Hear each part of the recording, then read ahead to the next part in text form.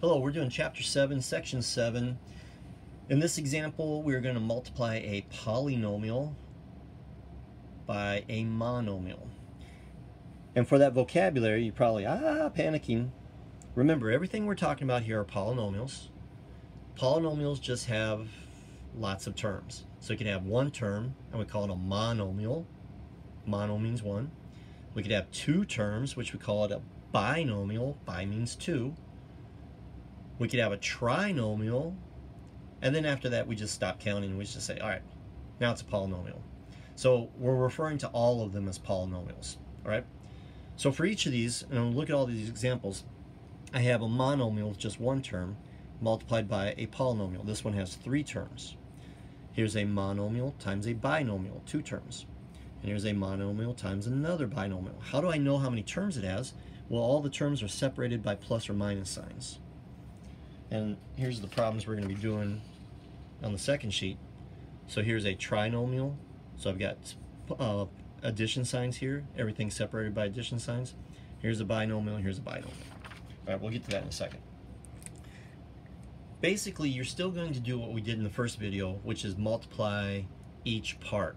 We're going to multiply each monomial by each term, which is in itself just a monomial. It's just I'm going to put them all together with addition signs. This is going to be the best way for you to do this. Different teachers explain this in different ways, but in my experience, I think that if you do the method I'm going to show you, it's going to make a lot more sense. You are probably familiar with multiplication charts, all right? We're going to make a multiplication chart. Some people call this the area method. So I'm going to make I'm going to start off like that, okay? i will fill in the rest of the box as I need it. I'm going to put the 5 here. And across the top, I'm going to put 2x squared, x, and of course that's plus x. I just, I'm just not going to put the positive sign in there, and 4. And it looks like I need a little bit further. And then I'll fill in the rest of my chart. And this is a simple 1 by 3 chart. So in this chart, whatever's on the left gets multiplied by whatever's on the right. So if I go to this box, what's on the left gets multiplied by what's above it. 5 times 2x squared, there's no x's here, so I just multiply 5 times 2. And of course, like I said, there's no x's here, so the x to the second power doesn't change.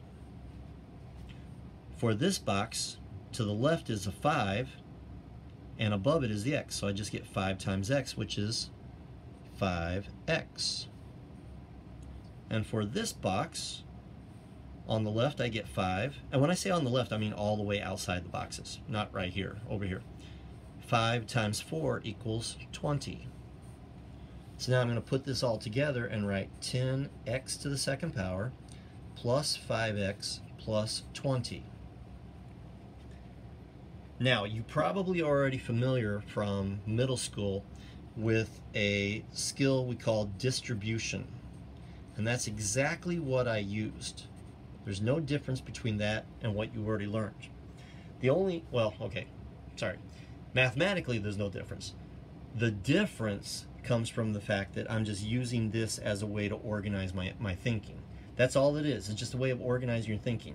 Different uh, classes use different like we use tables, we use Venn diagrams, we use different ways of organizing stuff. And this is just one way it's going to help us with, with this. All right. So you can draw your multiplication chart, or if you know about distribution, 5 times 2x squared is 10x squared, 5 times x is 5x, 5 times 4 is 20. What I find with distribution is that the first student, sorry, teachers will tell them first drop the parentheses and then multiply because notice I don't have any parentheses. And I think sometimes students here drop the parentheses. And then they only multiply 5 times 2 and, leave, and then they'd write 10x squared plus x plus 4. They forget to multiply 5 times that and 5 times that. If you use the box, that might help you remember to do that.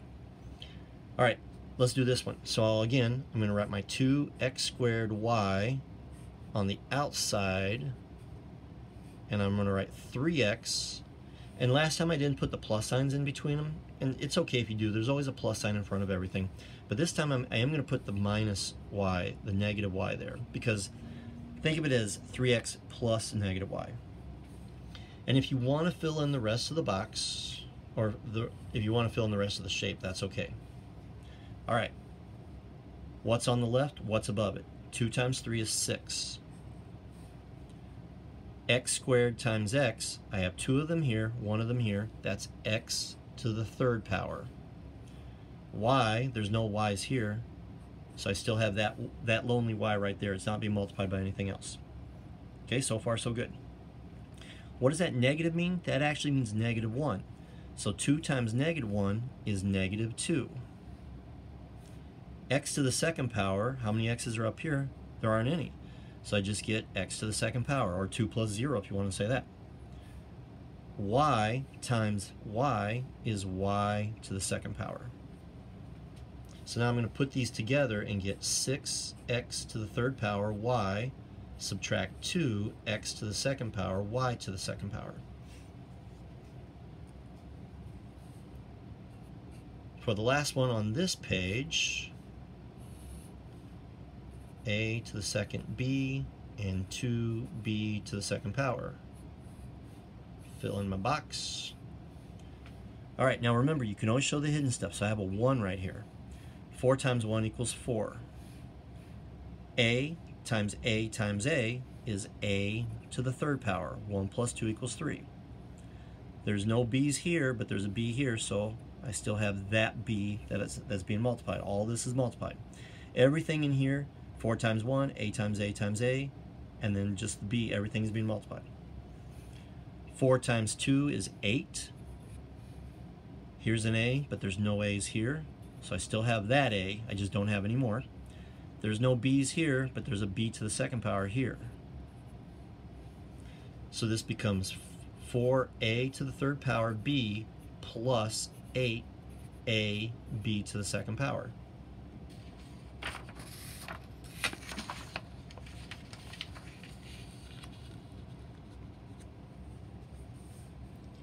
All right, hopefully you guys are catching on what, what I'm doing. So this is 4x to the second power, x, and 3. Sometimes I'm not quite sure how big I need to make my box.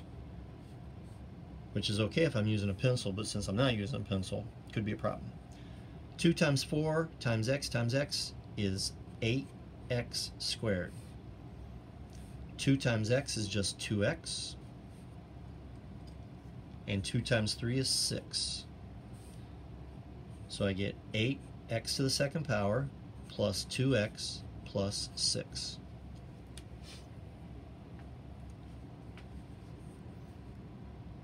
Three a times b times 5a squared plus b. 3 times 5 is 15. And remember, go in alphabetical order a times a times a is a to the third power and b times there's no b up here so I just get b. 3 times 1 don't forget the hidden 1 3 times 1 is 3 a there's no a here to change it so I just get a. And b times b is b to the second power. So 15 a to the third power b plus 3a b to the second power. Notice I kind of like made that slope up a little bit. Sorry about that. All right, and finally for the last one, we're using R's and S's now. We usually don't use S unless it stands for side or something that a variable that would start with the letter S because it looks like a 5 if we're not careful. R to the second power, S to the second power, times r, and this is plus negative 3s, so I'm going to put negative 3s right there.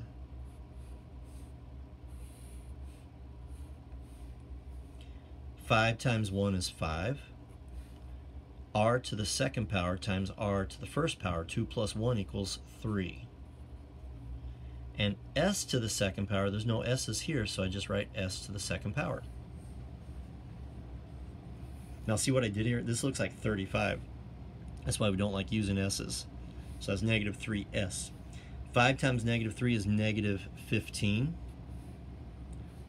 r to the second power, there's no r's up here, so I still got my r to the second power. And s to the second, there's two of them, times another s. Let's see if I can squeeze it in here. s to the third power.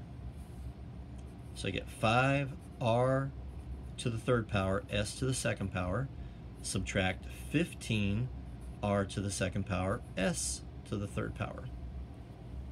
All right, in the next video, not only are we going to go this way, but we're also going to go this way. So we're going to have polynomials times polynomials. See you in that.